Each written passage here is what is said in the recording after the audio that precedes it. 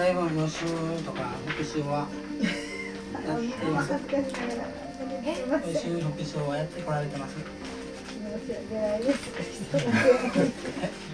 ちょっとあの浜田さん前で選手のやつ選手いやあのさっきさっき選手のビデオちょっと見たんですよそれだけなんで。選手あの目のやつとかやっとかね。目の話ちょっとしてくれえ、ビデオ、見ました。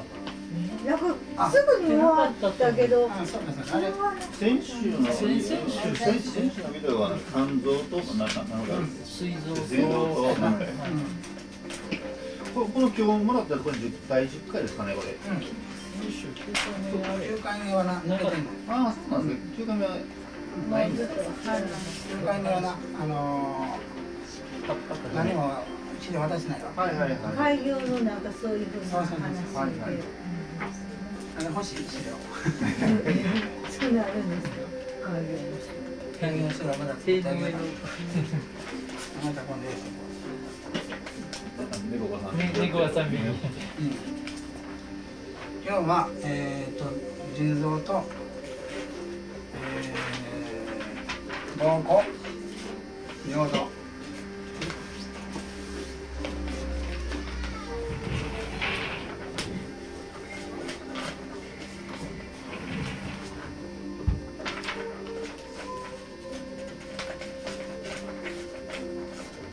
まあ書いてある通りですけどね。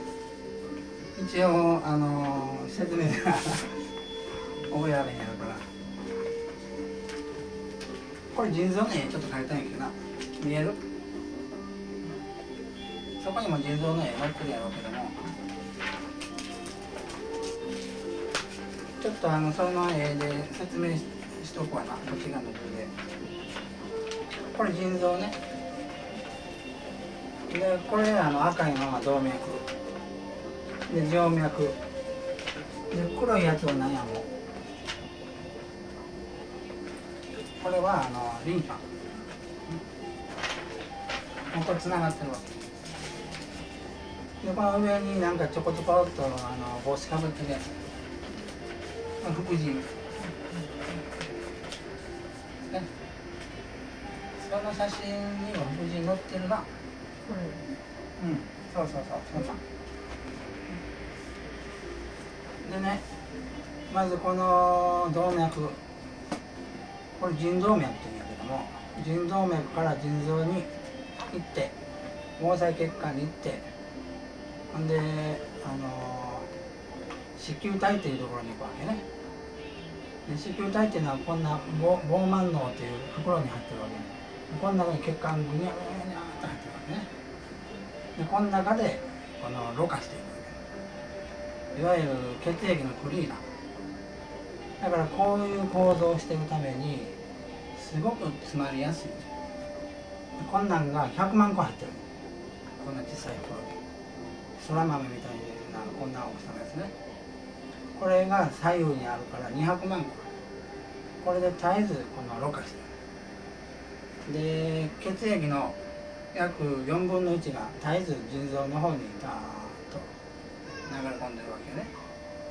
でその中でこの排泄物とかいらないものは全部膀胱にそして尿道を取っておしっこ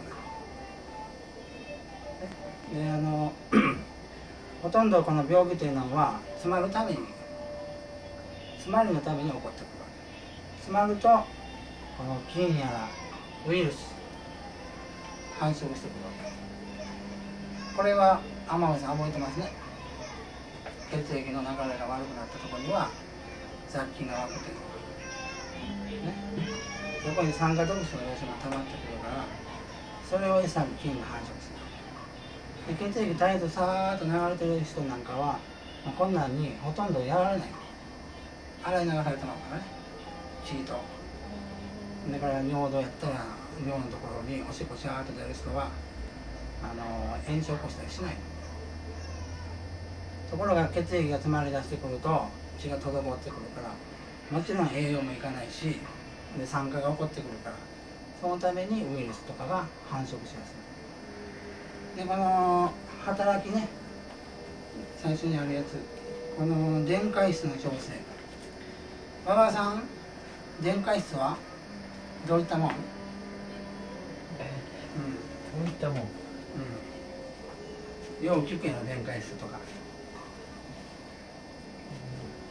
あーちょっと覚えてないです。この中で電解質分かる人。成分の一つでも分かる人。分かるやろ。え？電解質あのこれはね簡単に言えば電気を通す物質とかあるんです、ね、人間の体には電気が流れてるわけねこれ一番最初の頃に僕言ったと思うんやけども子供生まれたては6ボルトの電気が流れてるわけね。で中年になってきたら4.5ボルト。老あの老人になってきたら2ボルト。死ぬ間際の人は0.5ボルト。ね。まあ100歳100歳言うてる人は0.5ボルトぐらいで生きてるわけ、この電流が流れることによって例えばこうあるやんかこんなあの電気とか見てそれを電気信号によって脳に伝えて見えたりとかで動かすのもこの電気信号によって動かしたりとか。この電気が流れ流れるようにしておかないと、あの機能しないわけね。でそれが電気を通りやすくする物質が電解質の成分でナトリウムとかね。あのスポーツドリンクを買うたらみんな書いてあるからね。そういうふうなやつね。ナトリウムとね何がある？サナタリウムとかな。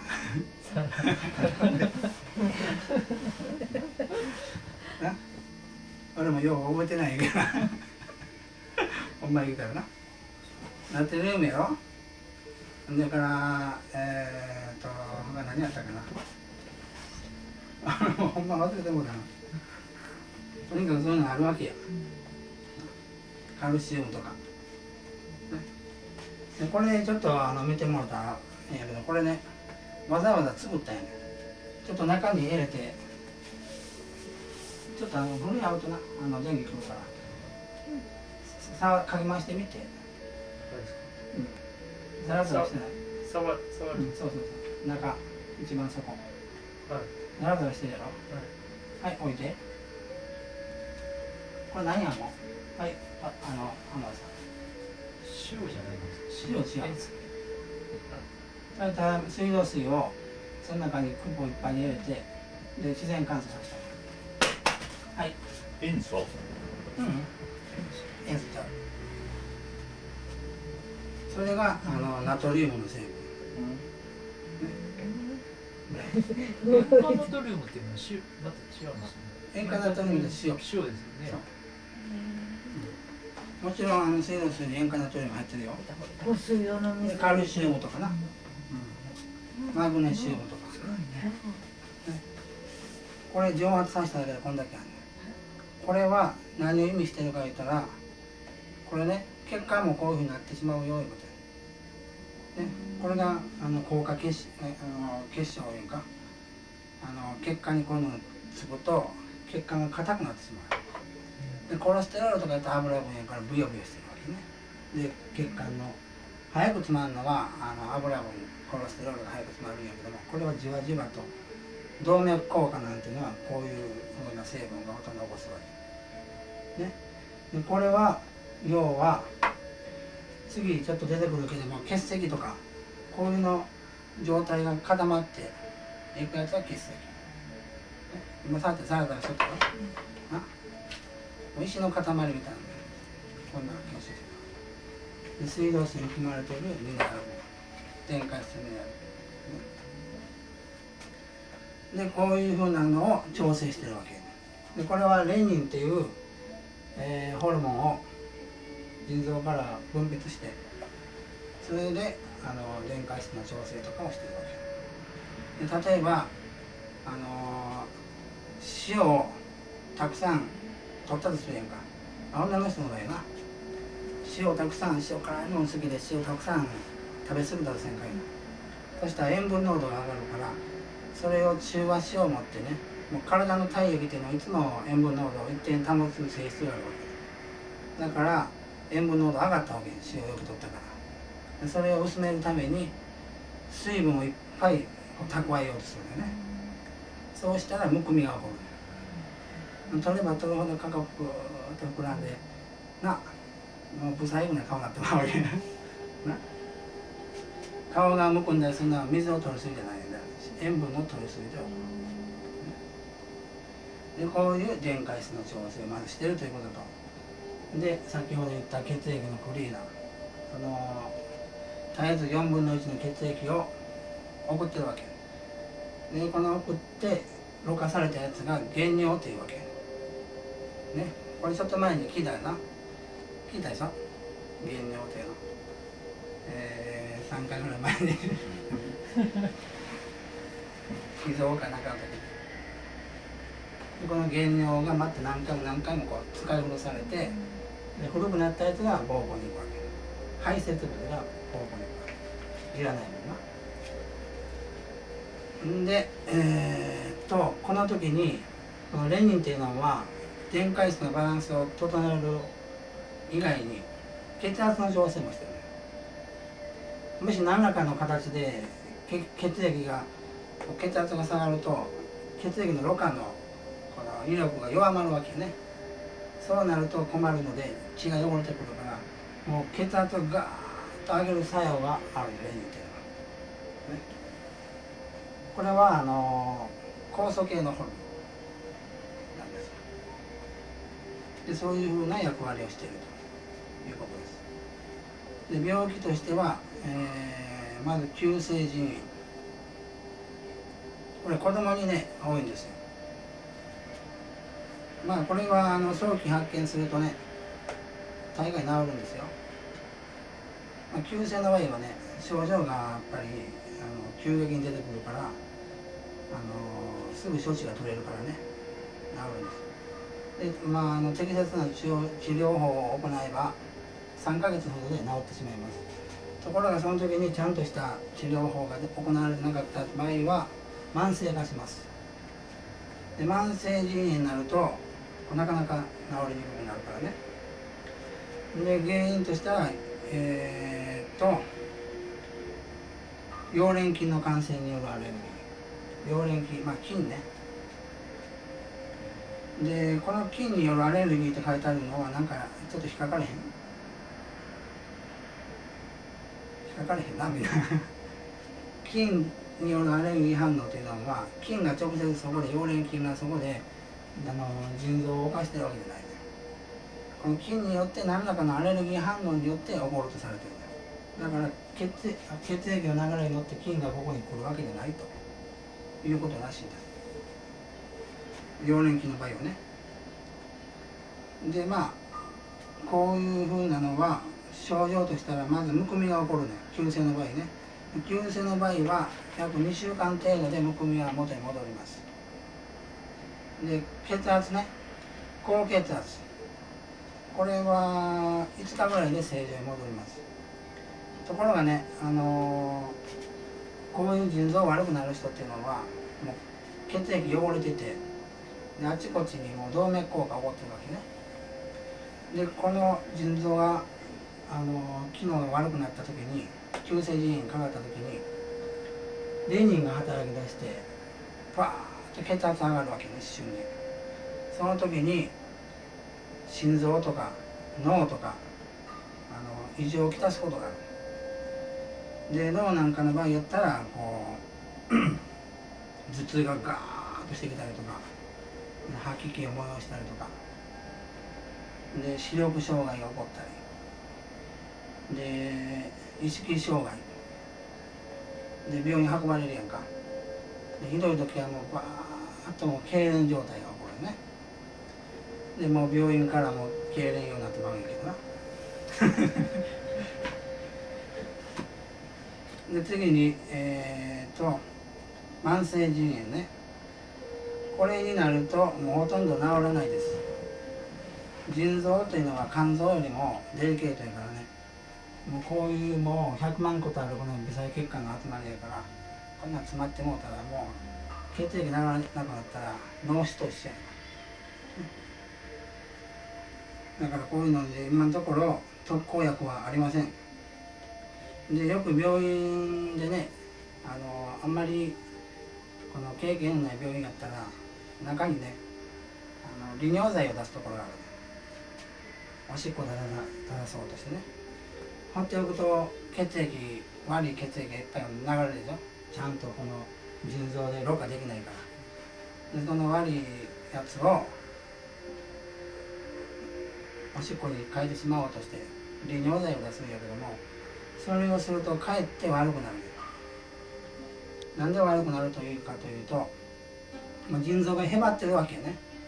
もうこれ以上動けませんって言ってる時に利尿剤で刺激して無理やり動かそうとするともう余計具合悪いと思わへん。で今5キロ走ってきたのにもうあと3キロ走ってこい言うたらもうそれこそうん？くたばってしまうわな。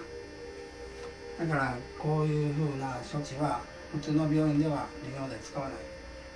使ったらそこはやぶ医者。もうあの腎不全一直線まっしぐら透析するのが一番いい。でえー、っと連鎖球菌。だから肺炎菌。でウイルス。肺炎菌は結核ね。でウイルス感染。これも風邪とか。で扁桃炎とか。そういったものによって起こります。でも大概ね急性から治らなかった慢性にこう移行するという形が多いみたいです。でここでね原発性と突発性ってちょっと僕書いたんやけどもこれ多分皆さんわからないと思います。よく聞くでしょ。原発性の何々とか。だから突発性何々とか。聞きません？ね聞くけど何のこっちゃ分からへんね。原発性っていうのはその例えばこれが原因でここから起こるというこの腎臓から発生するものを原発性ね。であと 突発性というのはこれ特別に発生するという意味なんですよ。もっと分かりやすく言ったら原因不明なんです。なんで発生したのか分からないと。原発性のものっていうのは大概ね突発性なんですよ。原因わからない。ですなんでここから、あのー、腎臓が悪くなったんか。っていうことが予測でしかないわけね。だから本当は突発性なんです大概ね病院はわからないものはストレスだとかで遺伝であるとかでもう片付けてしまうね。体質やとか。わからないものはみんな遺伝とか体質とかストレスが溜まってましたねとか。だからもうこれとこれとはもう親戚みたいなもんです。んでこの病気の原因は今言ったように、えー、連鎖球菌とかウイルスとか。であと 糖尿病とか合併症から来る場合があるのね。腎臓から糖尿病に行くわけじゃなくて糖尿病から腎臓が悪くなってくる。膠原病から腎臓が悪くなる。という合併症。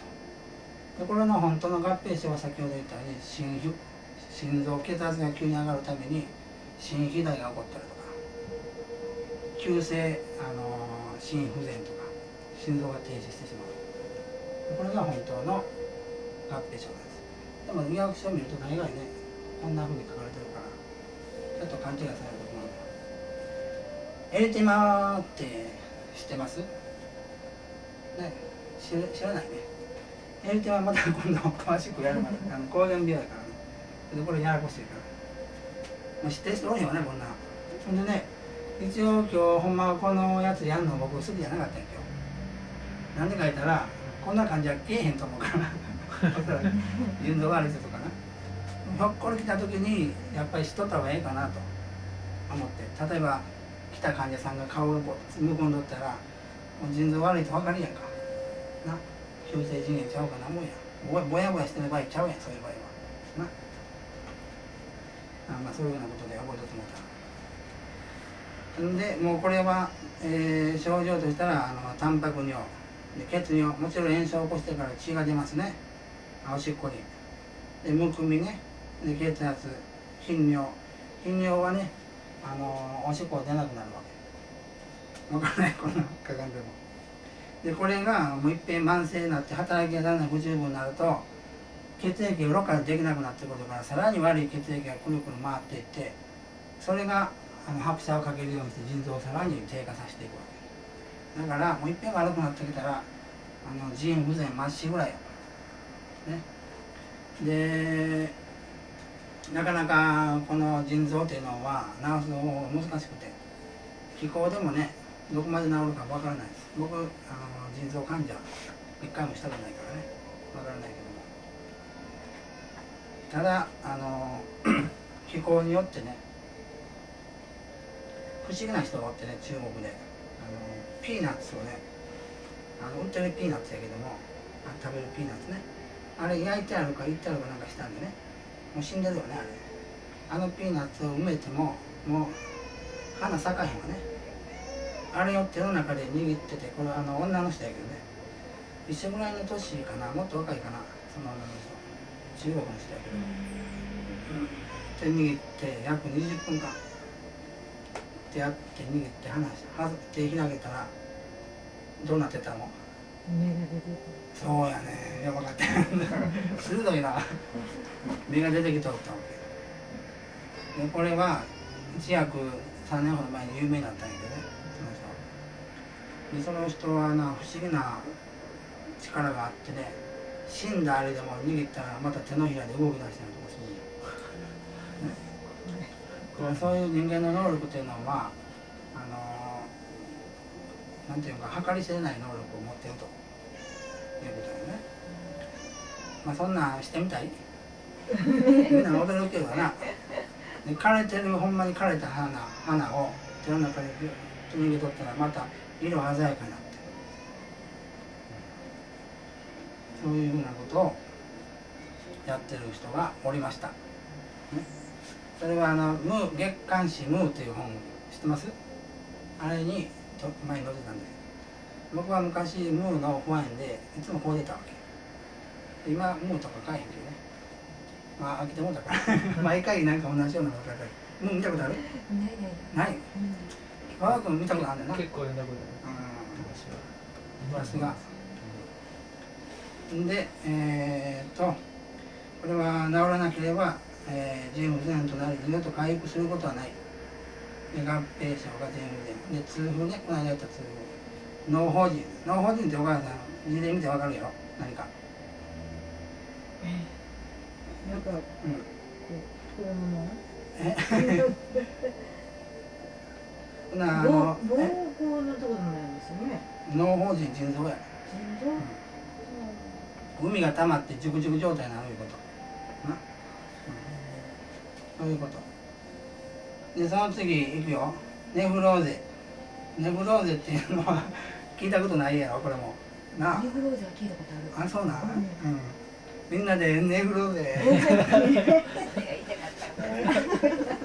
これも糖尿病とか膠原病とかによって起こるな症状やないけどもあのもう顔がむくんでくるもうとにかく。ほんで足でもパンパンになってくる。うまいこと電解質の調整できなくなってきて。で足なんかあの押すやんか。押したらそのまま肩ついとんね じわーっと戻ってくるような状態。顔でもこう押したらポコへっこむようにそんなにむくむねんもうあのそれにかかる前の写真とかかった後の顔見たらもう全然ちゃうねん。目でも腫れぼったい目になって思ってな。ほんまに。私なんかまだパチッと目開いてるやんか。もうこんな五木ひろしの目みたいなとまぶたが閉じてきて。そういうふうな状態にあの進行するとなりますよということです。これも原発性とほんで今言ったようにあの合併症によって起こっている場合とあります。原発性というのは、まあ、突発性と一緒で原因不明でわからないと言われています。はい、えー、その他にねいきます。えー、人工箇所これはね、えーこういう血管にこういうものがいっぱい付着して硬くなってくるね腎臓が。こんなんついとったら今硬かったやろ？腎臓がちゃんと機能しなくなって固まってくる状態。でこれは当然固まってくるとあの血管っていうのは絶えず大きくなったり小さくなったりするわけね。これも需要が効かなくなるわけ。でこれはねあの薬であの症状を遅らせることができます。高圧台などを使ってね。でも遅らすだけです。で最後はあの萎縮してあの腎臓が縮んできてで腎不全に至ってしまいます。で糖尿病性腎症。これ糖尿病が原因で起こる腎臓障害ね。でその次の抗原性のやつも抗原病によって起こる腎障害。で腎結核。この結核菌によって起こる腎障害で腫瘍。これ腫れ物ができる。ね。がんとかそんな部類のやつね。で脳胞腎これさっき言ったように海がいっぱい溜まってくると。水腎。水腎は水が溜まる。ね。というふうな感じで覚えとってもらったらいいと思います。これもあと読んだら分かるやろ。何のことね。まあほとんどこういう人来ないから大丈夫。安心しとって、ね、次、えー、膀胱これ尿道が先になっとんな。ちょっと尿道を後にして尿路結石からいこうか。これ石がたまる。ね。タンパク類を中心としてカルシウム類マグネシウムとかああいうものがだんだんだんだん指だれまくにひってくるわけ。これはおしっこ我慢してるとなるわけね。あるいはあのむくむのが嫌や言うて水を水分取るのを控えてると尿の量が減ってくるわね。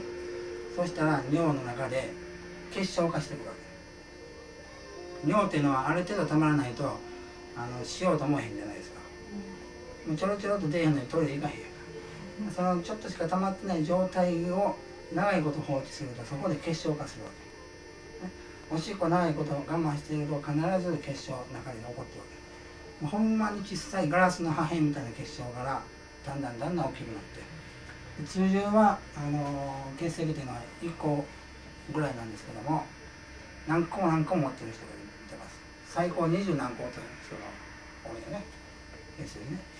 で場所によって腎臓で起こったら腎臓結石。で膀胱で起こったら膀胱結石。尿道で起こったら尿道結石。尿路で起こったら尿路結石。はいお母さん尿路ってどこ？どの辺にある？尿道。尿道は尿路や。尿路っていうのは腎臓から膀胱に行くこの管のことを尿路って。ね腎臓結石があって、えーちょっとここに書くわな。いい？この腎臓があるでしょ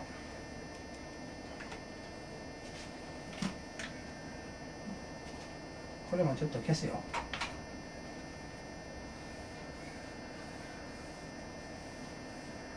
ここにね管があるねんな。で膀胱があってさらに管があって尿道があるわけ。でこう排泄されるわけなシャーっと。でここでもしなんか石ができたとするやんか。でここでできたやつは腎臓結石や。石の塊や。でこれがここでとどまってなくて下に落ちてここにとどまったとするやんか。から尿路結石や。こんなとこに石が溜まったらどうおしっこが。排泄できへんな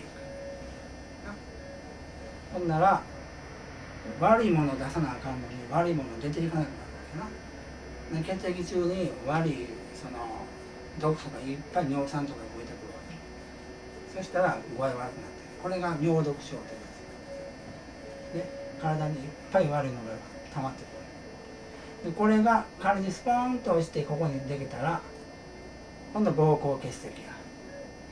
そのままスポーンとここに行ったら尿道結石や。おしっこしようまたここで詰まって出えへんちょうどあそこつまんでおしっこすってしてるたまやからな。あ厳しいであれ。でこれは今のところ溶かす薬がないんです。で腎臓から発生する結石もあれば膀胱から発生発生する結石もある。んですただこの尿路やらこの尿道から発生する結石はないです。ね。どっちかから発生発生する。まあ、腎臓結石よりも膀胱結石の方が多い。お仕事我慢してると、ね、ここでパパパパッとこう。ね。雪だるま式に結晶が起こってくる。塩なんかあの自然に蒸発すると結晶起こってるじゃないですか。ああいうのが起こるんです。この結晶もなんで起こるかっていうのも本当はまだこれもまだまだ分からない未知の世界らしいです、ね。なんで怒るんやろなあんなって。でもう絶えずちゃんとおしっこしている人は多少の困難があってもさーっと流してしまうから大丈夫。で菌とかが今度繁殖してもおしっこでみんな洗い流される。多少残ってても人間のなんていうの免疫防御力っていうのが働いてで白血球が出てきてその菌全部やっつけてしまうから、ね、普通はこんなもん全然ならない病気やね。まああの食生活、不規則な食生活で睡眠時間が短い、あの体力が弱ってる。弱ってると体の機能がうまく働かなくなってくるわけやな。で全部ほとんどこれ自律神経で動いてるからこの自律神経の乱れが起こるとこういう自律機能がうまいこと働かなくなる。このレニンとかそういうふうないろんなこの酵素やらあのホルモンがお互いに助け合ってるのがバランスが悪くなる。そしたら何が起こるか分からへん、ね、ちょっと怖いよ。ほんで、えーと、尿路結石になると、えー、血尿が出たりお腹横っ腹が痛くなったり腰痛になったり尿閉おしっこが出なくなったりんで腎臓に海が起こってきたりとか吐き気で、まあ、嘔吐。ね。そういうものが起こると。で合併症としては今さっき言ったように、えー、結石ね。尿道結石やら膀胱炎やらそういったもの。ね。でこの膀胱炎というのは次人の下ね。女の人に多いんですよ。なぜかといったらこの なんでやったかな。女の人に多いよ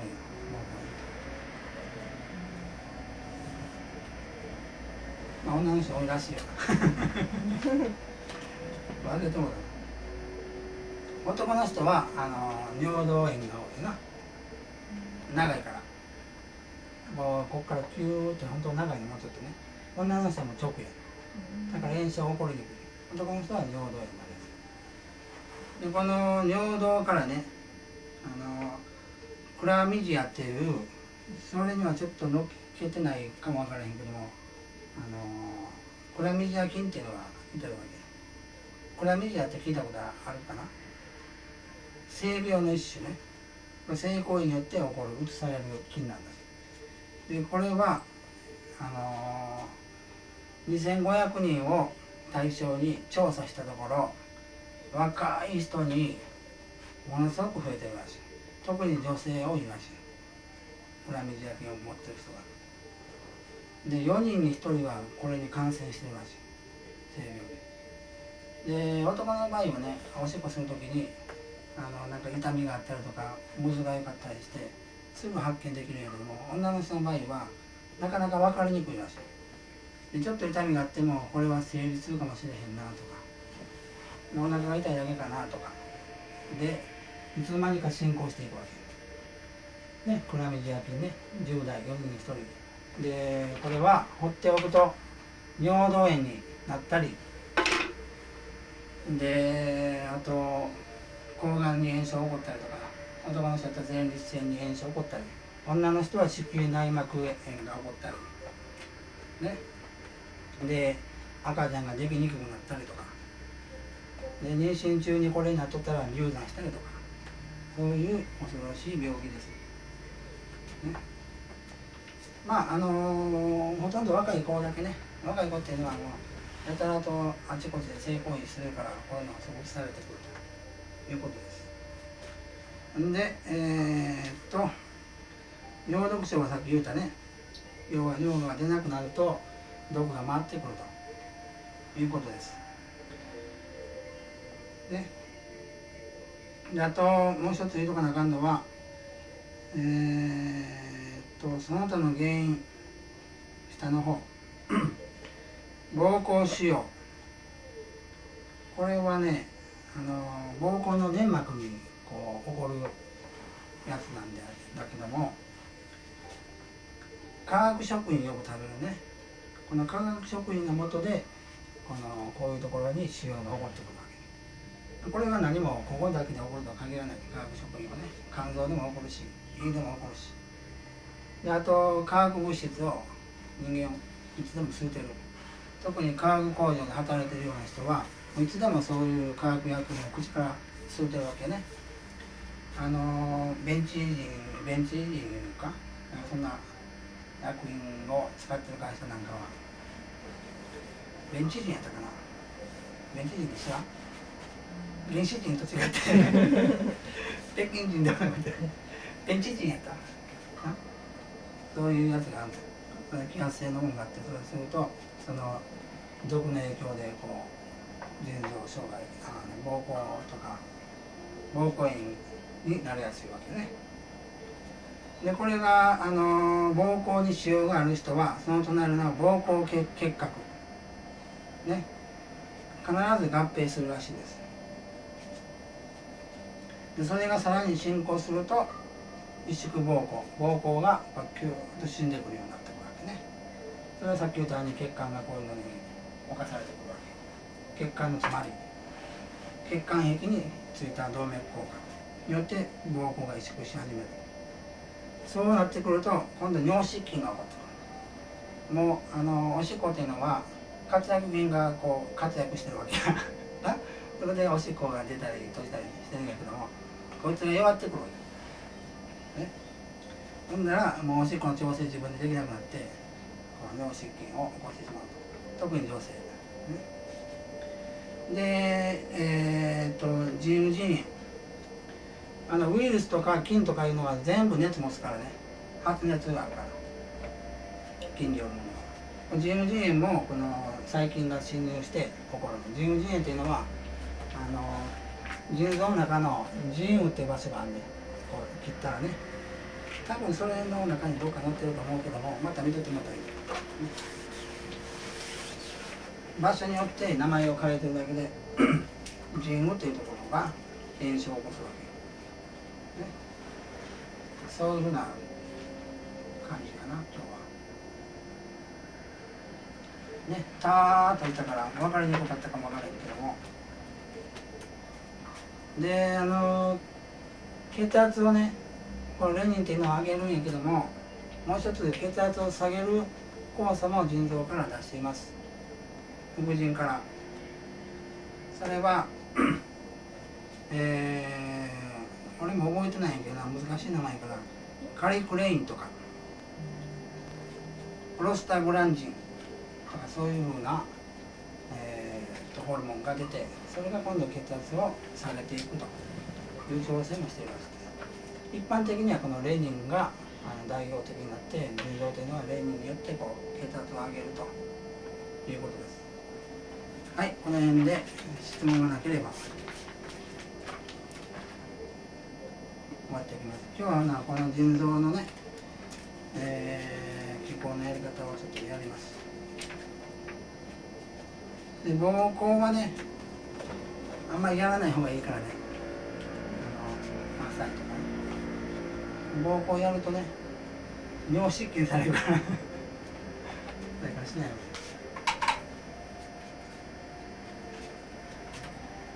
ほなもうこれで OK 今日は。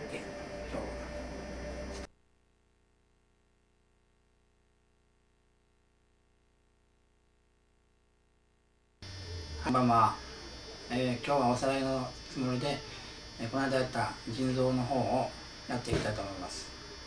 ではまず腎臓の位置をねもう一度再確認してみましょう。はい。えー、っとねちょっとこれ立体図面ですけど。こちらが左腎こちらが右腎となっております。左腎の方が若干、えー、上に上がっておりますね。でこちらの位置をよく覚えておいてくださいね。大体この位置をマッサージする感じで行います。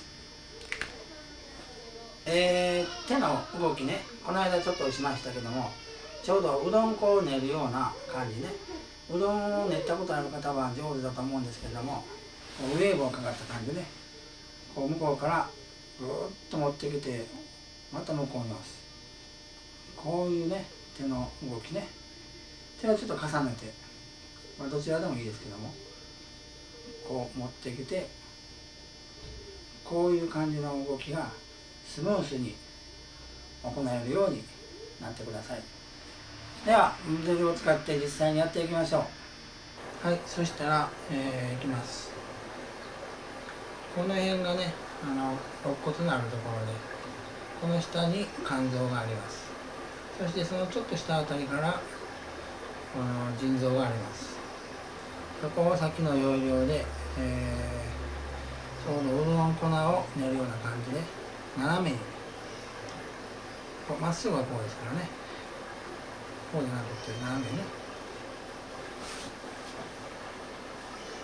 結構あの奥深いところにありますので全体にこうぐーっと細胞を動かすような感じで中の組織をね。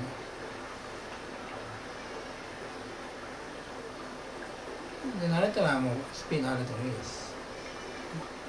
ただこのこっち側のこの部分をこう押さえ込まないようにねあまりで向こうに斜めに向こうにずこう斜め45度に押し出すような感じ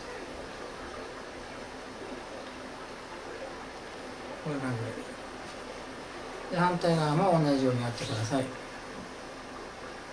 だからちょこちょこ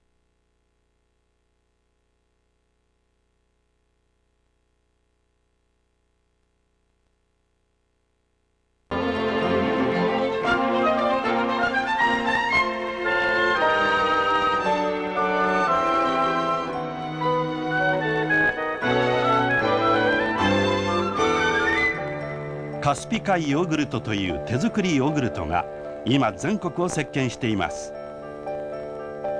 簡単に作れて健康に良いと口コミと手渡しだけで広まりました。市販のヨーグルト市場も爆発的に売り上げを伸ばしています。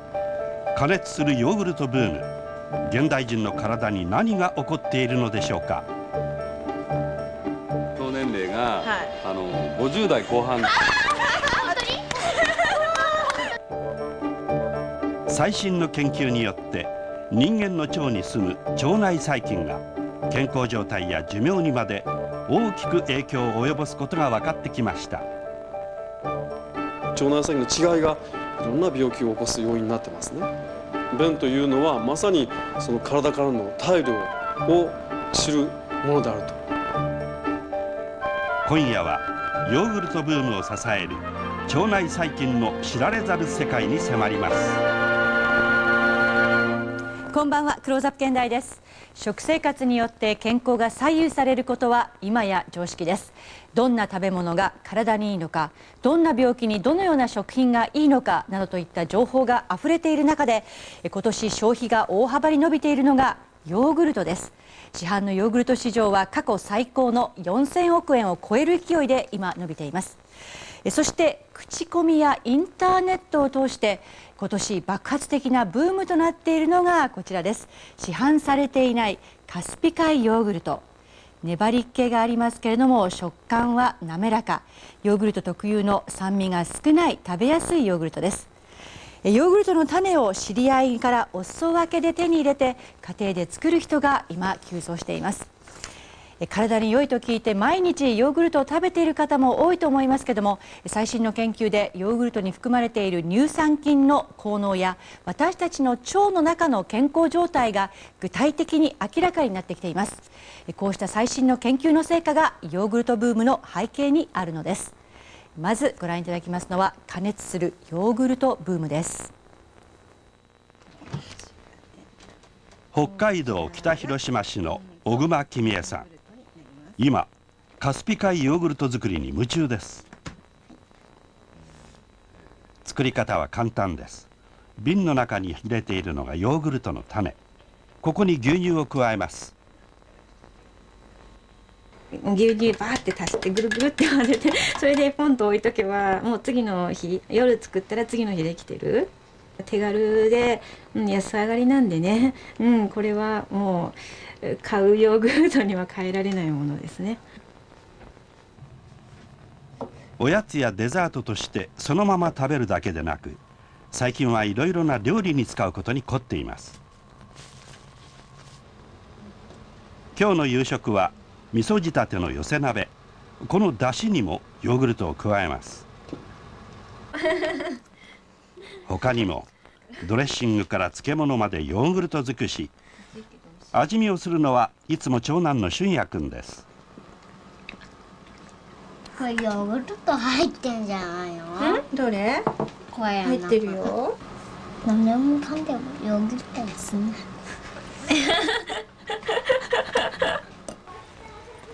小熊さんの手に渡ったヨーグルトは東京からやってきました。宮内正代さんが北海道に単身赴任している夫へ送ったものでした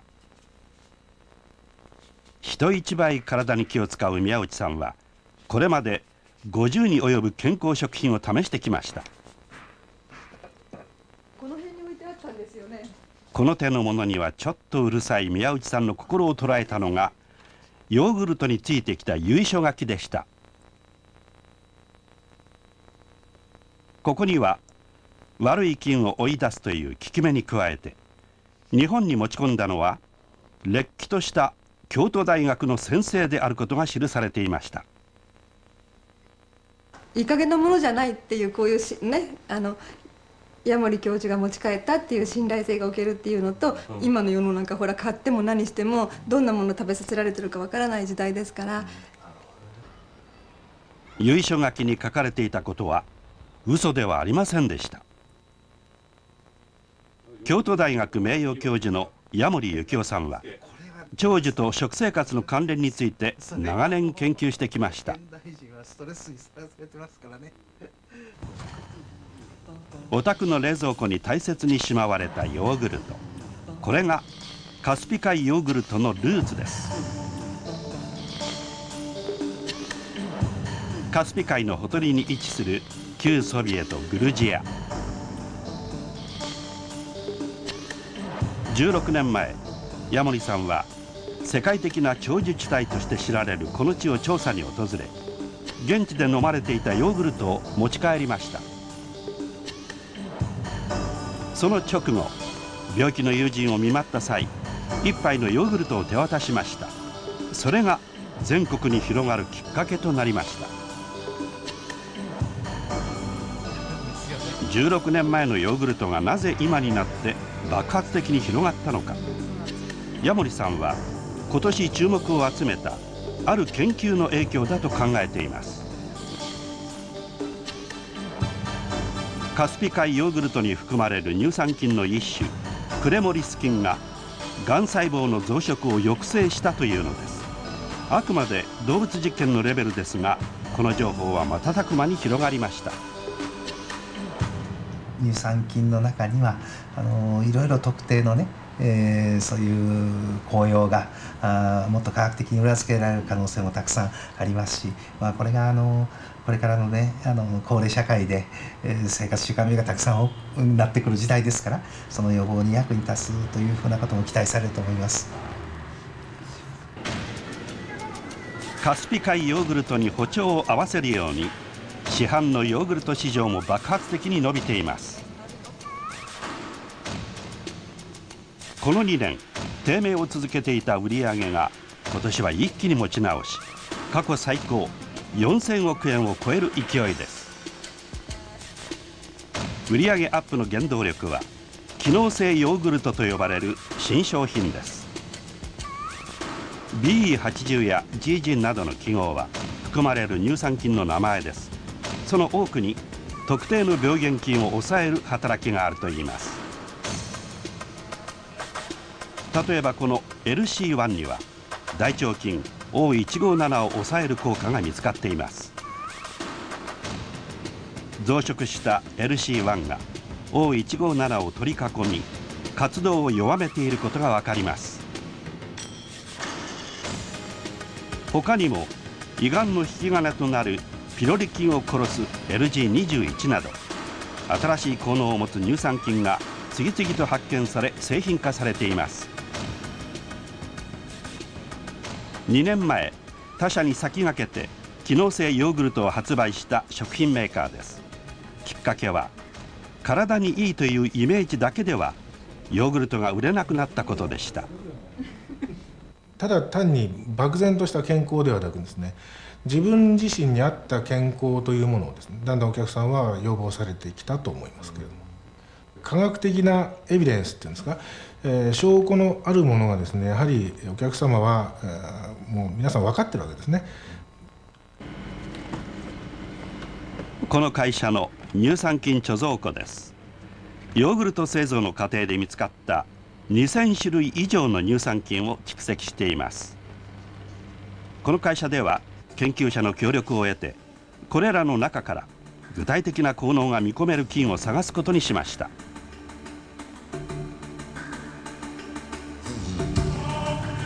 見つかったのは LG21 胃がんの原因となるピロリ菌を殺す効果がありました。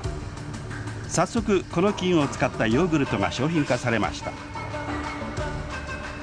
しかし販売にあたって大きな壁がありました。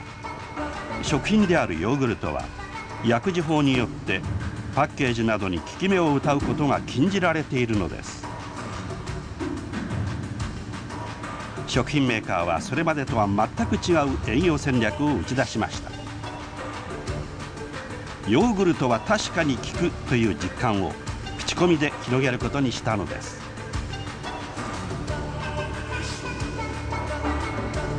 注目したのは病気克服の体験談が売り物の健康雑誌です。軽い潰瘍が治るなどピロリ菌除去に効果があった人を紹介。特集記事として取り上げてもらうことに成功しました。実体験というのが私が考えるには各個人の中で一番情報の中で価値価値が高い一番高い価値の情報だと思うわけです。口コミの効果はすぐに現れました。発売1年目で目標を大きく上回る。80億円の売り上げを記録。今年は200億円を見込んでいますまあ、食べ物に対する不信感が高まっている中で、まあ、ヨーグルトに関しましては消費者は口コミ情報に信頼を寄せているとったことが伺われます。え今夜は東京大学教授の上野川修一さんにお越しいただいています。え乳酸菌の研究をされていまして食品の、まあ、免疫学がご専門ということなんですけども、まあ、乳酸菌といってもまあ何百もあると言われてるんですけど、はい、その中には O157 の活動を抑えたり、はい、ピロリ菌を殺したりと、はい。いろんな効能を持っているものがあるんですね。そうですね。先ほどのあのビデオでありましたとカスピ海のヨーグルトですね。はい、でこれに含まれているとクレモニス菌ってがあるんですけども、動物実験ではこれはあのがん細胞をの増殖を抑えたというようなことが知られています。まあしかし現在では人ではまだ未知数ということになってますね。うん、で他のケースの場合ですね。例えば動物実験ではリウマチだとかと炎症性大腸がん。人の場合は例えばと妊産婦そして生まれた子どもにですねと乳酸菌を与え続けて例えばアトピー性皮膚炎が半減したとそういう報告も現在知られています。まあ、しかし、はい、皮膚炎が予防できるということなんですか、ね、事前に食べていると。はい、まあ、しかしながらあの効きやすい人もそうでない人もいますしまた乳酸菌でもいろいろと違いますのでその効き方というのは今後いろいろと研究していかなきゃいけないとそのように考えてますけども、うん、つまりそのそういった乳酸菌が入っているヨーグルトを食べたとしても、ええ、必ずしもすぐにその人に効き目があるかどうかっていうのはわからないというわけですね。はい、ケースバイケースになると思いますけどね。どねはい、あのどうなんでしょう。今乳酸菌をめぐるその効能っていうのが次々に発見されているわけですけども、はいはいえー、なぜ今ここに来て、えー、そうしたことが明らかになってきてるんですか？そうですね。と主な原因はやはりと食品メーカーの方々が新しいヨーグルトをですね開発するためにその乳酸菌の新しい効能を懸命になってと研究していると。例えば人材ですねそれからお金もと随分と投資されてるんじゃないでしょうか。うん、でそれからあとと最近になってと人間のですねと腸内細菌のこととかと腸の免疫系のことですねこれが随分と明らかになってきていてそういったことから効き目をきちんと正確に評価できるようになってきたということが大きな背景だと思いますけれども。腸の中の状態が分かってきたと具体的にどんなことが分かってきたんですか？はい。と例えばと腸内細菌はですね我々の体の中には数百種類あることが知られていますね。いすねそうですね。はい。で善玉菌乳酸菌などですねそれからあと悪玉菌などが知られていて悪玉菌は例えば発がん物質などを作ることが知られています善玉菌はこの悪玉菌を抑えるということが知られておりましてこういったことから腸内細菌がですね我々の健康に非常に密接に関係しているということが明らかになってきたというのが現状だと思うんですね。うん、でその中にもその乳酸菌も含まれているということなんですけども、はいねはい、えー、お聞きいただきましたように腸の中にはまあ何百ものまあ細菌がいるということでそれが私たちの健康状態を左右していることが分かってきました。えー、最新の研究の結果、まあ、現代人の腸の中に大きな異変が起きていることも分かってきました。埼玉県和光市にある理化学研究所です。うんち来ました、はい、ああどんなうんち？立派立派なうんち。微生物機能解析室の室長弁野義美さんです。弁野さんは人の便に含まれる細菌の DNA を分析するという手法を世界で初めて確立しました。これによって一人一人の腸の中にどんな細菌がいるのかつかめるようになりました。弁野さんの研究室の冷蔵庫にはこれまで提供を受けた600人分の便が保存されています。これらを分析した結果日本人の腸にある異変が起きていることが分かってきました。弁野さんが注目したのは発がん物質を作るクロストリジウムという悪玉菌です。30歳を超えると年齢とともに増えていくのが特徴です。この悪玉菌が若い人の腸から大量に見つかるようになったのです。ある20代女性の腸内細菌を分析した結果です。悪玉菌クロストリジウムの数が特に多いことが分かります。弁野さんによればこれは50代に相当すると言います。この結果は特別なものではありません。弁野さんが分析した20代の女性の実に3分の1が腸の年齢が50歳を超えていました。腸内細菌のまあ構成が大きく変わって超高齢化と。呼ばれるような受験症起きてきます。便というのはまさにその体からの体量を知るものであると。都内の大学に通う久保田理恵さん。今回の調査に協力した一人です。腸年齢が、はい、あの50代後半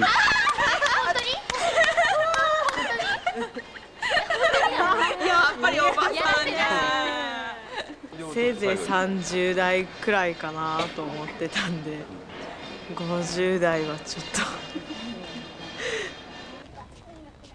弁野さんによれば腸年齢はその人の食生活が大きく影響するといいます。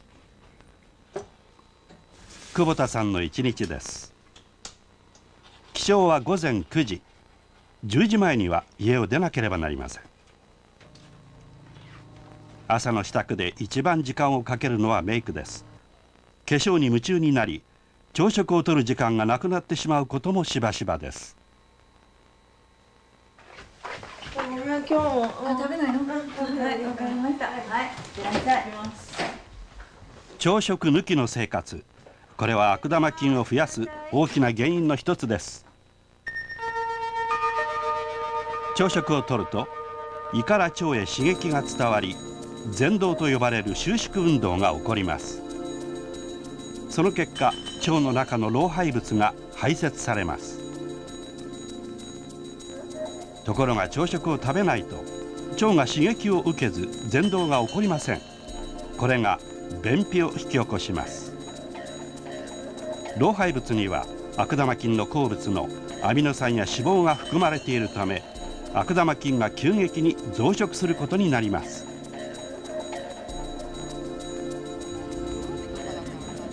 午前中の授業を終えた昼休み。この日の昼食は大好きな牛丼です。いつも昼食は好物のハンバーガーやラーメンなどで済ませます。久保田さんの1週間の献立を見ると赤で示したように肉類を食べることが多いのが分かります。これも悪玉菌の増加につながります。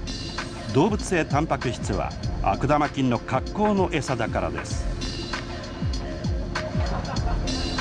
こうした食生活を改善すれば腸年齢は確実に若返ると言います。腸内細菌の検査あるいはその全体像分かってくると、まあ、私たちの健康のまあ指標になります。これをコントロールすることによって初めてその健康度を高めていくということを可能にするんだということでしょうね。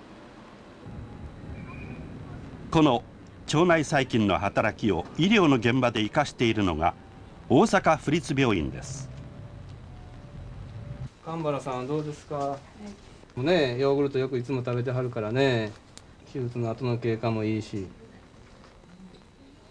この病院の外科では手術の後患者の抵抗力を回復させるために乳酸菌の力を活用しています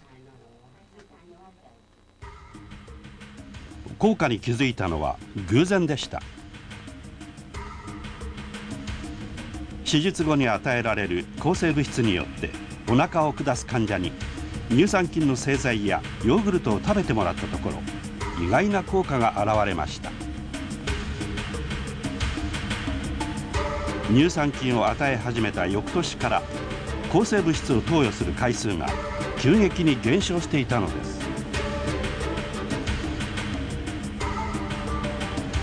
感染症の予防を担当する松岡紀美子さんはこれは乳酸菌の働きによるものではないかと考えました。手術の後など体が弱っている時は悪玉菌が腸の壁を越えて全身に回り肝臓や肺などで機能障害を起こすことがあります。こうした感染症を抑えるため抗生物質が投与されます。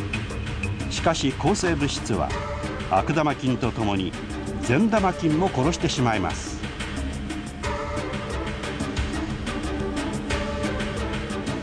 これに対してヨーグルトを取った場合です。乳酸菌が腸の中で増えると悪玉菌が減り外へ染み出すのを防ぎます。乳酸菌が体の免疫機能を高めるというのです。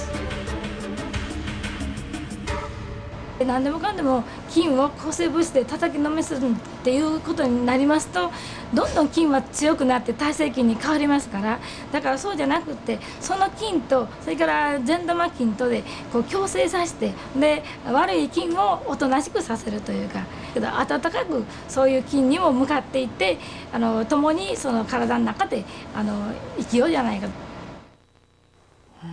乳酸菌にはその免疫の力を高める効能もあるんですか？そうですね。あの実験室の試験管の中では確かめられていると思いますね、まあ、しかしあの人体ではまあ研究中と言ったらいいんじゃないかと思います。ただしと乳酸菌によってですね食べてと免疫細胞がですね活性化されて生き生きしてくると。元気になるというのは確かだと思います。ね、はい、あのそれにしてもやっぱり人間の腸の状態によって体全体のその健康、えー、これが左右されるんですか？そうですね。とまああの消化管というのはと吸収器官ですね。食べ物を食べるとそして消化すると、うん、同時にあの細菌と戦うとまあ戦いの場でもあるわけですね。免疫と言いますけども。とこういったようなその免疫の働きというのは例えば細菌のタイプですね。腸内細菌のタイプとか栄養こういったもので決まってくるわけです。したがって免疫力というのは食べ物で食生活で決まってくるということが言えるんだと思いますよ。はいあのベノさんの研究では、えー、20代の女性の3分の1が50代の腸年齢をしているということで、あのやっぱり若々しく腸の状態を保つことが大切だと思うんですけども、どんな食べ物がいいんでしょうか？そうですね、まあ、今のとと腸の高齢化っていうんでしょうか、はい、場合は女性の場合は例えば便秘だとかと男の場合男性の場合は例えば下痢とかそういうものを交互繰り返す場合は高齢化というやはり基本的にはやはり食事のバランスバランスの取れた食事というのが基本だと思います。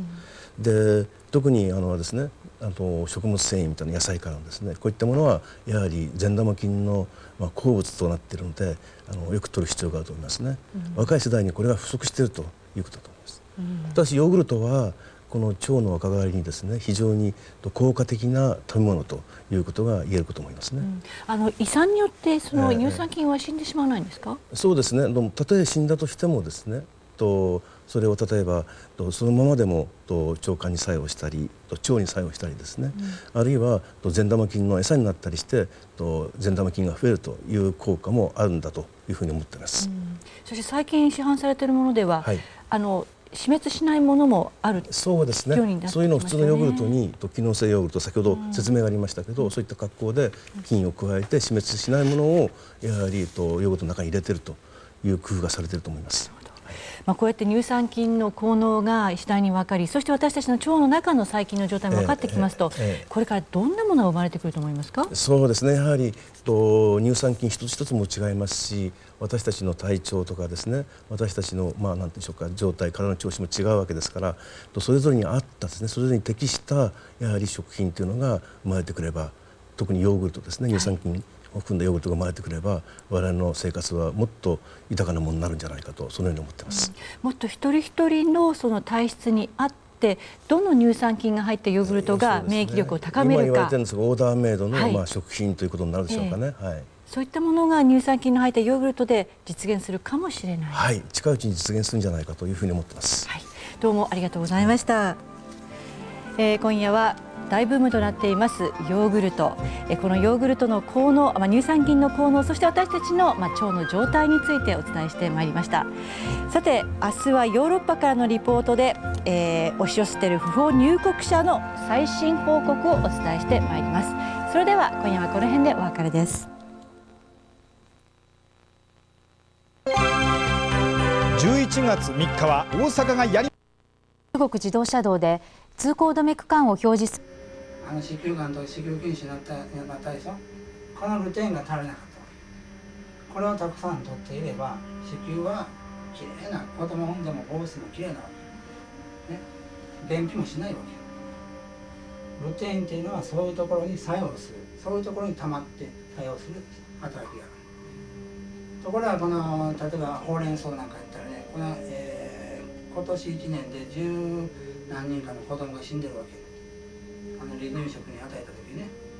それはあのなんか特別な硝酸塩かなんかいう農薬を土に巻いて育てるわけ。で特にほうれん草というのは虫がつきやすいから虫から守るためにそういうあの土の改良剤の肥料をまくわけ。それを子供のまだミルク離れてないような子供に飲ませたところ死んでしまったわけ。ね、大人でもやっぱり影響あると思うよ。だからほうれん草も安心して食べる。で厚生省が今から7年ほど前に無農薬でって野菜がほんまに無農薬かどうかを調べに来たわけ。そしたらもう9割は全部デタラメやったわけ。高いお金だけ払ってこう出たわけ。ね。嘘やったわけ。っていうふうに、まあ、食べ物は信用できないわけ。ほんまに無農薬でなんでこんなに綺麗ねんって思えへん。であのこの中でねあの百姓とか知ってあったらいっぺん尋ねてください。正直に。よそに出荷するやつは全部農薬使うわけ。で自分のとこのやつは農薬を使うてない。いっぺん聞いてみてほんまやから。知ってる？知ってる知ってる。ねよそにはなんで自分のとこも食べへんの食べるなんかいな。畑別にしたもんね。ね。それが怖いのその人たちは腹で知ってるわけ。手袋はめとっても手が荒れてくる農薬巻いて。手袋通り越すねもう粒子がこっち小さい。この間言うたなあのえっ、ー、とシャンプー怖いよとか化粧怖いよとか。あれぐらいの粒子やしかもあれ太陽気芯入ったらもうたちまちこう異物としてバーッ攻撃する前から手がーれて手袋はめとっただからそんなもん手がそんなになるようなもんかけるねんで。よう食べるか？私たちを見てないから食べてんねんええとか「あ北小町や」思ってな。ディスカウント行って安いの足前って書いてあるやんか。買うわけやんか。あれで作ったお米やんか。そんなもん食べとってで活性酸素出てけへんわけない。これらをしっかりとっておくとそういうのの身代わりになってくれるね？ええと思うよ。で次リリコピンはよく聞くやろ？トマトとかに多いね。トマトね。であんずとか、ね、でこのリコピンは何に聞こえたら？乳腺。で肝臓。膀胱前立腺なこういうところにとどまって効果があるわけ。だからお乳なんか出ない人はこのトマトをたくさん食べるとお乳が出やすくなるし乳がんにもかかりにくいということね女性の人。男性の人は前立腺ね年的で緩んできたりするとリコピンが足りないたくさん取ればそれも防げるよということでこれが効くわけ。次ベータカロチンね。これは人参かぼちゃブロッコリー。こんなあの人参かぼちゃブロッコリー子供がみんな嫌いなやつばっかしやんか、な今体をちゃんと整えるためにブロッコリー食べなさい人参食べピーマン食べ言うたらもう子供ストレスで余計具合悪くなるかもでこのベータカロチンはどういう役役目するか言ったら膵臓。膵臓はこの間習ったでしょ？膵臓な何の役割するんやったお母さん膵臓はえそうかあどどういうですかどういうなれんかと違うで。なあ松本さんに聞いても答えられへんから お母さんやったらもう一生懸命プロになるんやって言ったからこれは答えれるかなと思って。WHO をちゃんと答えた人やから答えれると思って膵臓はやってください膵臓はなもう忘れた？また家帰って勉強しとって。なもう今日は教えんとくか。らな膵臓にええわけ。ベータカロチンな。でアルファカロチ。ンこれ人参とか、えー、豆とかそういうものに入ってるわけ。特にまあ人参とかカロチンね。でこれは肺とか皮膚とかにいいわけ人参たくさん食べる人っていうのはアレルギーとか皮膚のアトピーとかいう消炎作用がある、ね、でまたこの人参の繊維質だったら僕ちょっと忘れましたけども人参を毎日かじってると虫歯にならないそうです、ね、だから虫歯の予防にもなる、ね、次ゼアキサンチン。これがオレンジとかマンゴー。ね。まあオレンジとかみかん類ね。これが目とかこれも皮膚にええらしいです。でこれらを全部合わせて体にいいんですよっていうことです、ね、目の中には実は言うたらこのルテインとゼアギサンチンだけが存在するらしい。でこれがたくさんの量が入ってるもんやから効果が出てくる。あと DHA とかあのいろいろ入ってるんやけどね。まあそれ全部見とったらちょっと時間ないから。ね。カシスとかポリフポリフェノールとかビタミン E とかも入ってますけども。でビタミンが取りすぎないように調整してあります。だからこれ一瓶仮に一日飲んでも害が起こらない。ですでね次の写真この間ちょっと見せた大地の写真見せたったっけ？見せてあげなかったかな？今30代で30代の女性の方でねちょっと便秘気味の人の大腸の写真を撮ったんですよ。そしたらものすごい汚かったわけ。でこれを4ヶ月間飲ましたわけ。そしてもう一度検査したらきれいな大腸に変わってたわけ。それを今からお見せします。ということこっちからいいかな。これね飲む前。で飲んだ後ね4ヶ月後。飲む前ね。飲んだ後。